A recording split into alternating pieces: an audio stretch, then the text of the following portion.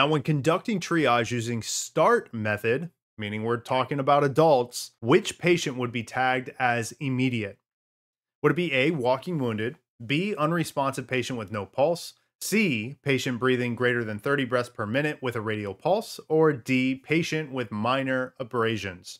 Now, with START triage, we have four different colors. The patient's either going to be a green tag, a yellow tag, a red tag, or a black tag. We have walking wounded and a patient with minor abrasions. Both of these sound like obvious green tags. These are our walking wounded. We will ask to walk to a designated area, which may even be our treatment area, depending on the situation. Yellow tags are similar to our green tags. They don't meet our red criteria, but they're unable to ambulate. Maybe they have a broken leg or they have a sprained ankle, whatever the case might be. This is considered delayed. None of these answers are anybody with a yellow tag.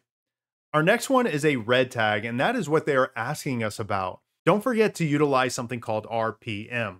That stands for respirations, perfusion, and mentation. I always show students the 32 can do.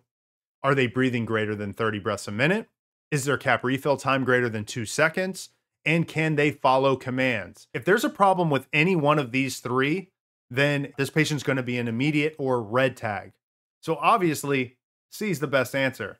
Now, with a black tag, our patient is deceased. In this situation, B states here that we have a patient who's unresponsive with no pulse.